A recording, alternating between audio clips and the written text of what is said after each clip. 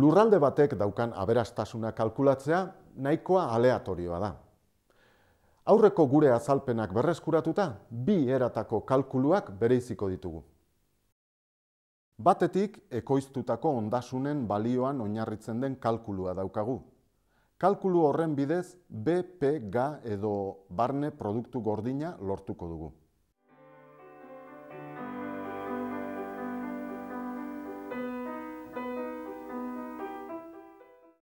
Bestetik, nazio errentan oinarritzen den kalkulua daukagu. Barne produktu gordinari amortizazioa, hau da, ekoiztutako kapitalaren gastuak kenduzkero, barne produktu netoa lortuko dugu.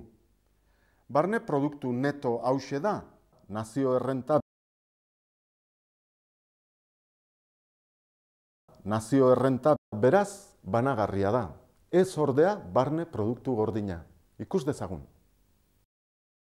Mila bederatzieun eta berrogei garren urtetik aurrera, Colin Clarkek garapen ekonomikoaren baldintzak idatzi zuenetik, produkzioan hiru sektore nagusi bereizten dira.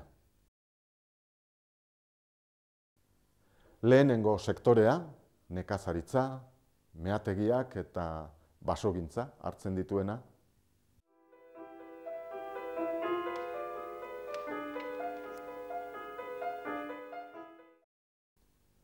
bigarren sektorea, industria hartzen duena,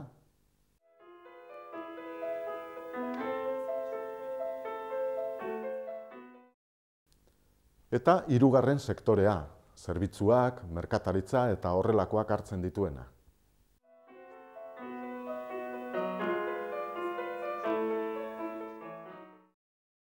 Sektore hauetako bakoitzak produktu gordinaren osaketan parte hartzen du baina egindako lanaren ordaina ez da egindako lanaren araberakoa. Sektore hauek ez dute ordainetan egindako lana hainbeste jasotzen. Horra bada banaketan izaten den beste ezberdintasun bat. Gizarte klaseen artean ere ezberdintasun nabarmenak izaten dira. Klase batzuk mailaketan beherago dauden beste batzuk baino gehiago jasotzen dute. Mailaketak piramide baten antza hartzen du.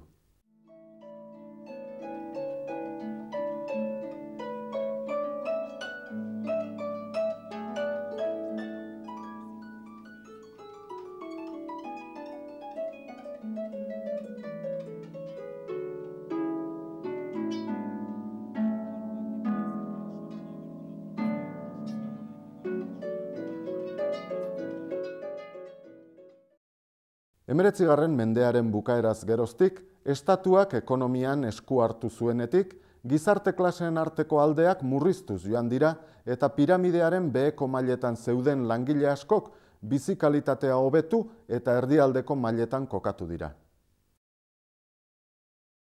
Gora eta beherako mugimendu vertikalak ia maila guztiei ukitzen die.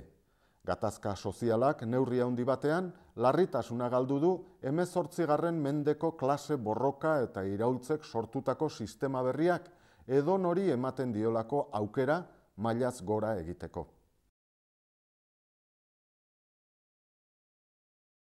Esaterako, gaur egun edo nork lanaren bidez, diruaren bidez, arrakasta izan duelako, prestigioa daukalako edo besterik gabe, suertea izan duelako, piramidearen barren barreneko mailatik goiko mailetara igaro daiteke.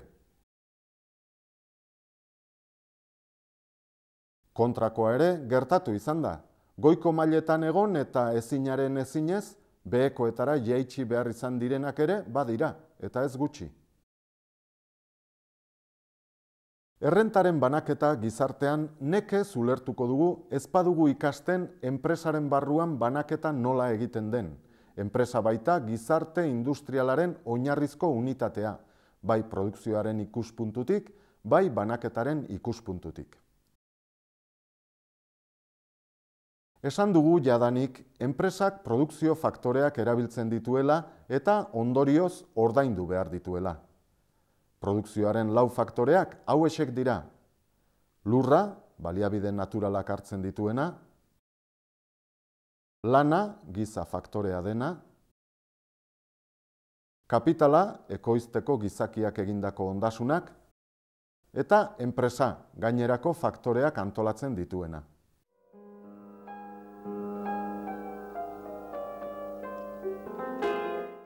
Hala ere, hemendik aurrera kapitala eta lana aztertuko ditugu zehatz mehatz.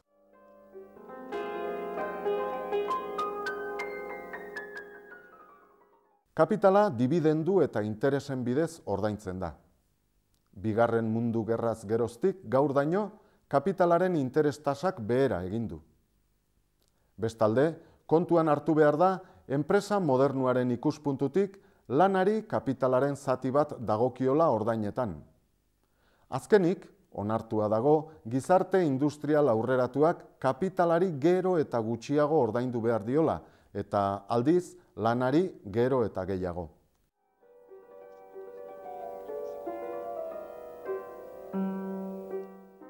Gertakari hau gutxieneko soldata ezarri zenetik hasi da. Hau da, botere politikoak lanean diarduen norbanako orok oinarrizko kopuru bat jaso behar duela agindu zuenetik. Horregatik guztiagatik mendebaldeko lurraldeetan batez ere kapitalaren ordainketa etengabe urrituz joan da, lanaren ordainketa berriz haundituz. Soldaten igoerarik haundienak langileen mobilizazioi esker lortu baziren ere, ez dugu ahaztu behar orduko aurrerapen teknologikoei esker, ekain mordoa pilaturik zegoela biltegietan, eta soldatak igotzea baino ez zegoela beste modurik haiek handik ateratzeko.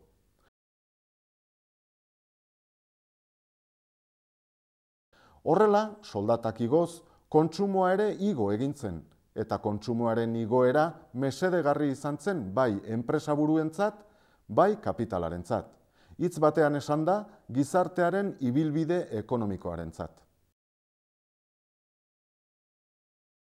Kontuan izan behar dugu, langileak soldata zuzenaz gain zeharka hainbat ordain jasotzen dituela, gizarte segurantzaren bidez, familia gehigarrien bidez eta abar.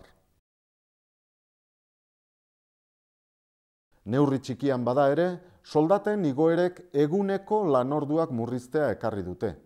Gaur egun lan astea berrogei eta hogeita amabost ordu bitartekoa izaten da.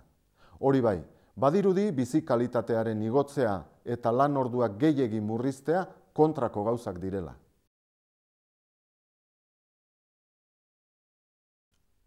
Hala eta guztiz ere, sektore batzuetan, hogeita hamar orduko astea ezar daiteke, baina denbora libreari buruzko politika egokia ezarrita.